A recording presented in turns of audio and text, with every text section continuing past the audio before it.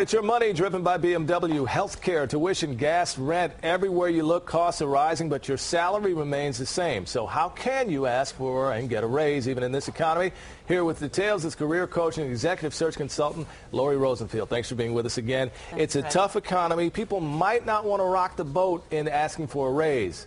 You say I say it's a great time to show the value that you bring to the organization. If your company is having a tough time, a couple things are going on. People are doing more with less, mm -hmm. and companies really can't afford to lose their most valuable players. All right, so you talk about getting a raise. What's the first thing you should do? You say do some research. Yeah, know where you stack up. There's some great tools online, salary.com.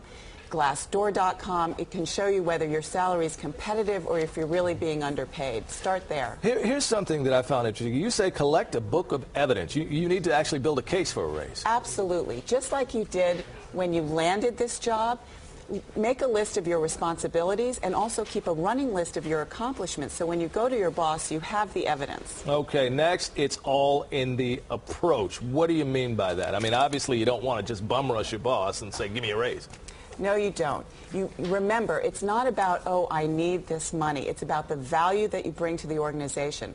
I, I also don't advise making ultimatums. You want your boss to know you, you enjoy being at the company, you want to be there, but this is why. Here's the evidence. This is why I deserve this now. Okay, and I, I guess lastly, uh, you know, be prepared for no.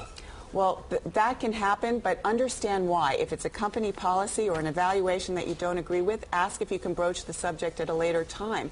If it's something that you don't agree with, right. um, you might have to brush up your resume and go across the street. All right, Laurie, thank you so much for being with us. And for more of Laurie's advice on how to get a raise, log on to pix11.com slash morning news.